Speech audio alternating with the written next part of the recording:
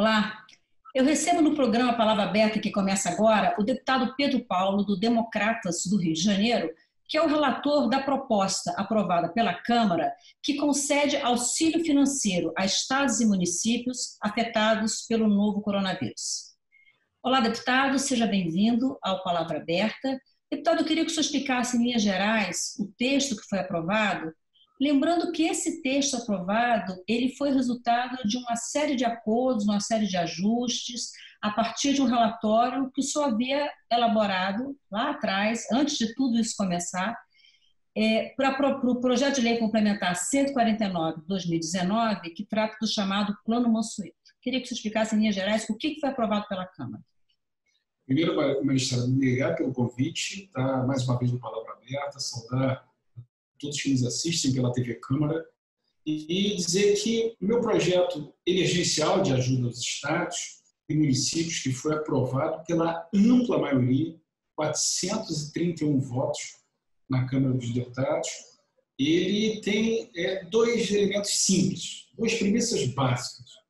A primeira delas, suspender a dívida de estados e municípios até o fim do período de calamidade, 31 de dezembro das dívidas que estão em bancos públicos, como o BNDES, Caixa Econômica. E também proibir que o Banco do Brasil, ainda que não se suspenda suas dívidas, porque é uma, uma SA, uma instituição é, de economia mista, possa o, a União não exercer as contras garantias dos Estados durante esse período. Esse é o primeiro eixo. O segundo, ele prevê aquilo que nós chamamos de seguro-receita que é a garantia de que a queda do ICMS e do ISS, pela profunda queda que nós estamos tendo, ou seja, quase paralisação da atividade econômica, a União possa compensar essas perdas durante um período de seis meses. Exatamente como o governo apresentou a proposta na medida provisória 938, e que depois, junto com o PL 1161, que foi aprovado na Câmara, prevê essa garantia para as quedas de receitas dos fundos de participação dos estados e dos fundos de participação dos municípios. O conceito é o mesmo, da previsibilidade para que estados e municípios possam continuar mantendo insumos nos hospitais estaduais, nos hospitais municipais, para que a segurança pública possa continuar exercendo a sua atividade de garantia do isolamento social.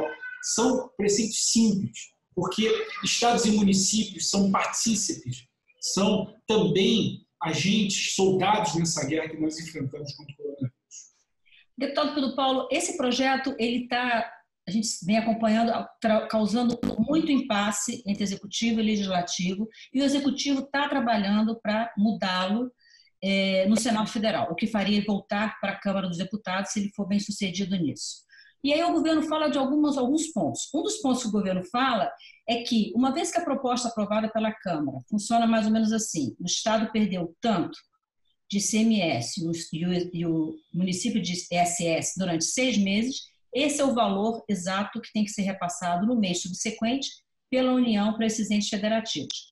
Segundo o que os secretários vêm, vêm falando, o secretário do Ministério da Economia, o próprio ministro, essa forma é, representaria um desincentivo para que estados e municípios trabalhassem efetivamente para que as economias voltassem a funcionar, a atividade econômica voltasse à situação normal. Qual é a sua avaliação em relação a esse tipo de análise por parte do Executivo? Olha, é uma análise absolutamente equivocada. Ninguém tem dúvida que a atividade econômica está paralisada. Não existe esse desincentivo. Pelo contrário, os governos não dependem exclusivamente da receita de CMS. Vou te dar dois exemplos. Meu estado, Rio de Janeiro.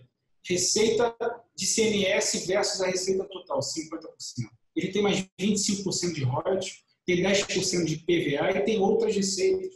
Essas outras receitas também estão em queda. Então, a recomposição do ICMS não acabará com o problema desses estados. Vou te dar o segundo exemplo. Goiás, 70% da arrecadação ICMS. Se ele não tiver essa recomposição, os serviços na área de saúde, na segurança pública, aqueles que são essenciais de proteção social das famílias, vai paralisar. Por isso é falsa essa argumentação do governo. E esse incentivo não é perverso, ao contrário, esse incentivo é um incentivo para que os serviços continuem sendo prestados. E mais, quando eles paralisam, Maristela, a classe média ela tem a proteção do, do plano de saúde. Ela consegue ter com suas reservas algum tipo de abastecimento nos supermercados. Mas a população que mais precisa da rede pública é que sofre quando esses recursos não são repassados. Deputado, o governo fala em um valor fixo, né, que o programa, o programa aprovado pela Câmara não tem um valor fixo, depende da variação da perda de ICMS e ISS. O governo fala na proposta de um valor fixo. É, e fala também distribuição per capita para todos os estados e todos os municípios. E aí entra um ponto: nem todos os municípios estão afetados pelo coronavírus e mesmo os que estão afetados estão afetados da mesma proporção, e, consequentemente terão a mesma perda da receita. Só acha que essa distribuição per capita, qual seria o impacto disso? A distribuição per capita é burra e ela é desonesta. Porque ela é burra porque é o seguinte, ela gera desperdício. Por exemplo, você pode ter um estado que teve menos redução de ICMS e está recebendo pelo cálculo per capita mais do que foram as suas perdas, deixando de recompor a receita de um Estado que, pela atividade econômica, está mais paralisada por conta das maiores incidências de contaminações e mortes, você está deixando de gerar e recompor recursos desse Estado que está precisando de mais. Por isso, ela é burra. Ela é desonesta porque ela impõe uma disputa que não é verdadeira. No momento que nós temos que falar de solidariedade federativa, esse discurso do governo ele impõe uma espécie de discriminação federativa, quando ele tenta colocar o Norte e o Nordeste contra o Sul, Centro-Oeste e o Sudeste. E mais, quando você coloca um valor fixo na estrela, pouco importa, porque o valor fixo, se a queda for maior do que o valor fixo determinado, nós vamos deixar o Estado e o município quebrar. Existe um papel que é da União.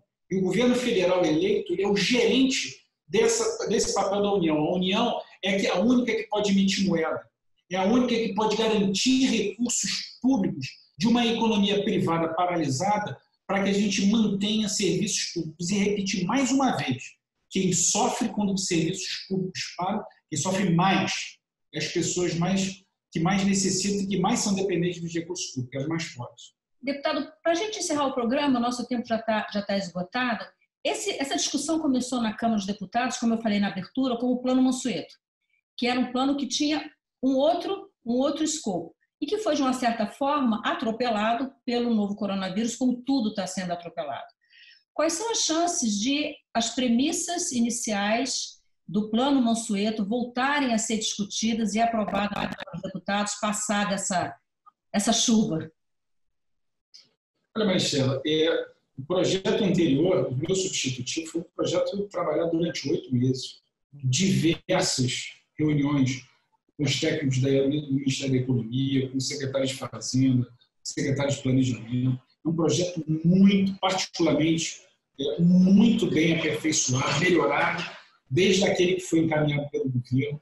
É um projeto que não pode ser perdido. Inclusive, estou apresentando esse projeto é, com um novo PLP, porque nós fizemos o substitutivo emergencial em cima do PLP 149, então, de minha autoria, esse novo substitutivo para tratar dessa questão dos financiamentos, do endividamento dos estados de forma é, muito mais é, responsáveis, passado o pico da crise e com os impactos de médio e longo prazo. Agora é hora de tratar do curto prazo. Com as contrapartidas. Da com contrapartidas, com responsabilidade fiscal, que particularmente, Maristela, eu acho que muitos que acompanham aqui o trabalho da Câmara me conhecem, o meu zelo com as questões fiscais. Eu tenho inúmeras propostas que são propostas até mais ousadas e mais duras do que o próprio governo encaminhou de responsabilidade fiscal. Deputado Pedro Paulo, muito obrigada por sua participação no Palavra Aberta.